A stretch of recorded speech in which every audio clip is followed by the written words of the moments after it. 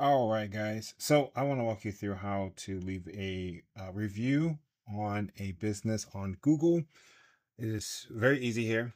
What we would need to do is open up your Google browser or your Google Chrome browser or Google Maps, either one, and search for the specific location that you want to leave a review at. So I'm just using Raising Cane's as an example.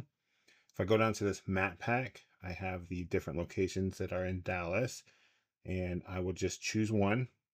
And here, um, this is coming from the browser version, I would select reviews up top, and then you'll see the five stars here. I'm going to choose my rating. So if I want to give them a five star rating, I would start there. And now I have all of these different things that I can review or add additional context to my review.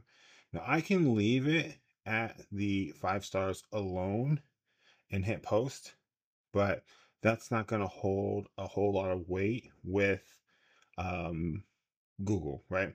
If I want this to actually mean something, I would need to add some words about my experience, add some photos about the experience, and then a little bit more context is definitely going to help make this a great review that really impacts the business, either, you know, negatively or positively.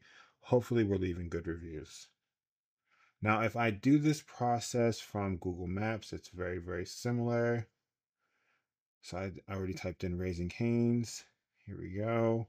Inside of Google Maps, down below this time, you have reviews and the same five star system that would open up the rest of the review. Oh, I can add videos here. That's cool.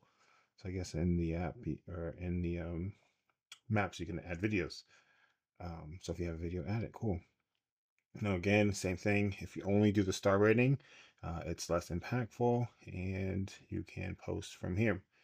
Uh, keep in mind that your review is public. You need a Google account to leave a review on Google. And um, if you're leaving a bad review, I challenge you to find another business that you've had a really great experience with and leave them a good review, right? Let, let's let's bounce that out.